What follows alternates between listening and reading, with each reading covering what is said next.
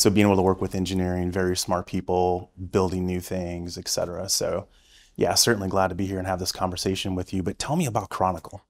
Yeah, yeah, absolutely. Um, so, so Chronicle, you may you may know, Chronicle is Google's internal tool that that we use um, to detect security events. You know, if you ask the the Google security team, kind of what's your security philosophy, they say it's real simple: trust nothing, detect everything.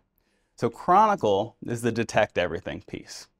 Uh, and when they say detect everything, they mean detect everything because when an incident occurs, you want all possible information, right? Mm-hmm. Not only allows you to kind of find it and then stop it quickly, but also allows you to have the most successful remediation, right? Yeah, we all heard the stories about when you get breached, the attacker's been in your environment for 60, 90, 120 days, right?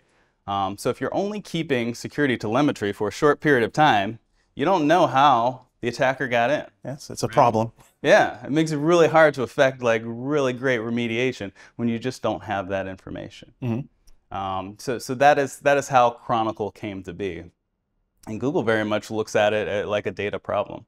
Um, so, so most people know Google from going out to search something on the internet. Right. Now, when you think about it, it's a, it's a big data problem, right? You got this world of information, and you need to get to the good stuff really, really quickly. Mm-hmm. Chronicle does that for security telemetry. Massive amount of information, the security internet, if you will, right? And you don't want to search through it line by line. You want to get to the good stuff, and you need it like that, right? Just like when you do Google search. Um, so, so Google Chronicle is built on some of the same technologies that allow that Google search to happen, but specifically for your security technology.